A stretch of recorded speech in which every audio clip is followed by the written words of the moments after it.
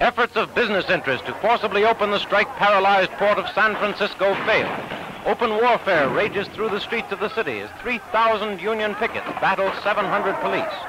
Guns, tear gas, clubs, and fists bring injuries to more than 80 persons and cause the death of two. Listen to the strikers' side of the story.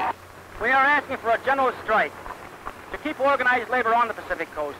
We are not only asking for it, but we're going to get it.